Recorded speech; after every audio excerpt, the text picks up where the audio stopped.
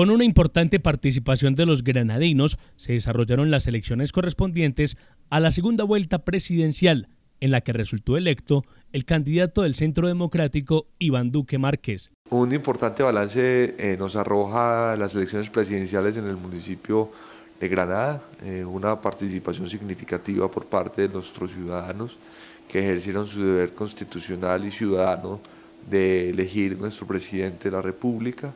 5.337 granadinos salieron a las urnas a ejercer su derecho al voto en esta segunda vuelta.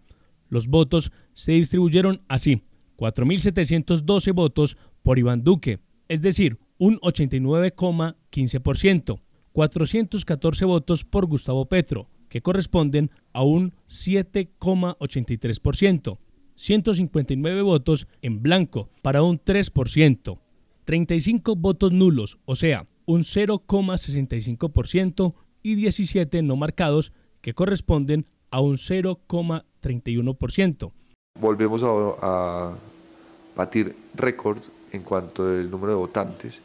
A comparación de la primera vuelta eh, aumentó el número de sufragantes 80 más.